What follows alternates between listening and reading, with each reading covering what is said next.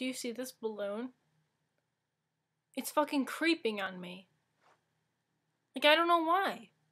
Like, it was just over there, up in the corner, and now it's just right here creeping on me. That's creepy. And last night, it was over there. Whoa, God, get out of my face! Oh my god, oh my god. Okay, it was just right over there, creeping, and then it just started moving across the wall.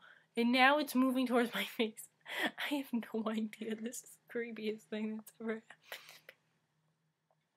Okay, it's backing up. Backing up slowly. God, I don't know what to do.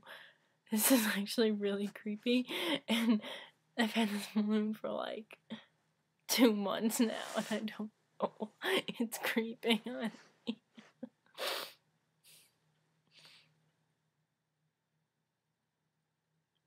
Where's it going? Where's it going? Where's it going? Did it just ricochet off my head? No, it's back there. Like what? Look at it. It's like cutting into the frame. It's like creeping. I am a balloon.